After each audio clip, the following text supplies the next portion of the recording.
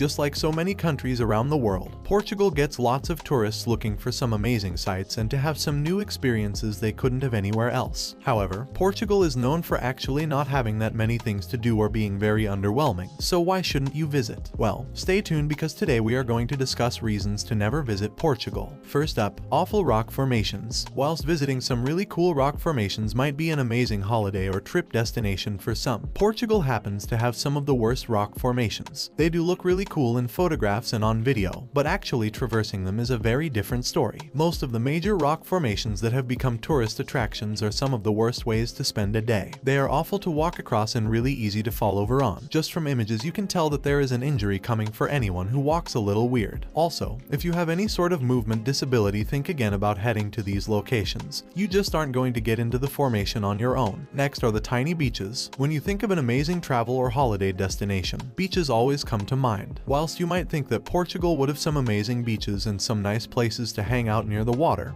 you might have to think again. In fact, Portugal has some really awful and really small beaches that just aren't worth your time at all. If you want to spend some time on a beach, go somewhere tropical or even to a resort. Don't waste your time heading off to Portugal for that sort of life. Portugal really isn't a great place if you want a nice relaxing holiday. As you will see with our next reason, the streets are crowded. Photos of Portugal's streets might show that they are heavily crowded, which makes for a nice photograph. So, what is wrong with them? People think that this is just for the photograph and it isn't always like that, but you would be wrong, because of the way Portugal's streets are mainly designed. They are actually really cramped and crowded. They are a pain to walk around and will cause you even more inconvenience because of the pandemic. The beaches are always full. We may have already talked about the beaches in Portugal, but if you were to actually head to one, you would still be disappointed. So, what are they like? Just like the city streets in Portugal, the beaches are also super full all the time. Because they are so small and narrow, they are naturally very full even if only a small number of people decide to go to them. Whilst they may look really appealing in photographs and on the internet, the reality of it all is that you won't be moving around much if you go there on holiday. If you like to swim, don't go to Portugal. Here is another thing that photographs on the internet tell you about Portugal if you look close enough. Images of beaches show them as really cramped and just not nice at all. However, there are actually some nice beaches that people talk about swimming nearby. These beaches may look amazing on Instagram and so does the water, but the reality is much different. These waters are actually really hard to swim in because of how small they actually are. This water isn't deep at all. They may make a nice Instagram posts now and again, but in terms of your own enjoyment, you probably won't be having much. Stay tuned because the second half of this video gets really interesting. And next up, bleak islands. Whenever you look into countries like Portugal, one thing you might end up finding are images of some really weird looking islands that are just off the coast of the major areas in the country. Whilst these areas might seem nice in an image, you really shouldn't go to them. The images romanticize them and make them look way better than they actually are. Color correction and editing make them look way cooler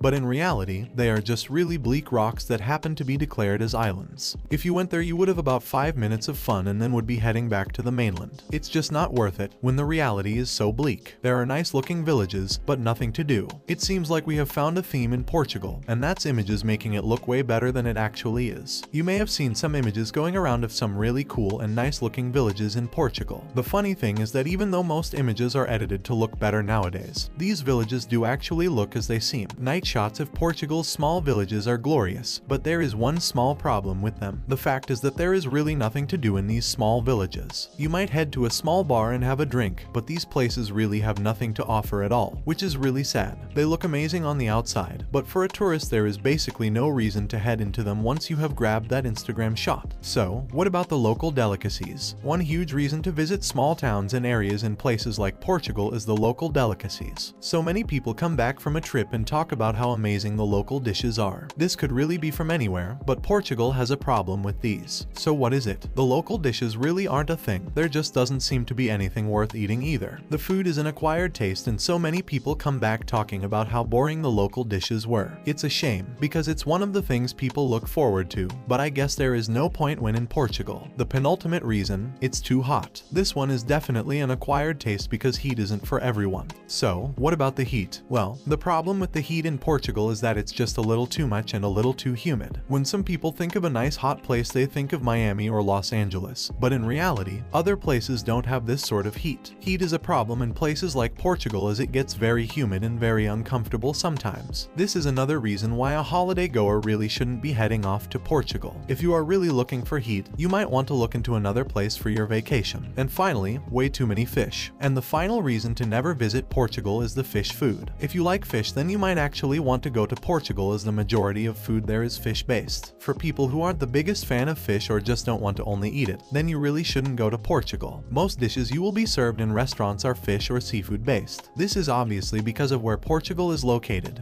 But for people who don't really like that sort of food, it's a no-go. You can obviously get other food, but if you are going on holiday and to a new place for the food and delicacies, it looks like Portugal isn't the place to go to. Portugal has some really cool places to visit don't get me wrong, and it really won't be that bad if you decide to go on holiday, but think about this list before you make your choice. For people who really hate everything we spoke about on this list, Portugal just isn't the place to head to. If you really want a nice beach or a nice place to chill out at don't go here. Spend your money elsewhere or look into other places to possibly go to. Portugal is definitely a nice place to go for some. Just remember, some places aren't for everyone, and this list shows you some of the worst parts of Portugal. Take everything into consideration before choosing Portugal as your next holiday destination. Otherwise, you might just regret your expensive decision. Hopefully you enjoyed this new video. If you did please let us know in the comments below. Please make sure to like the video, comment down below and maybe turn on notifications to the channel. Thanks for watching.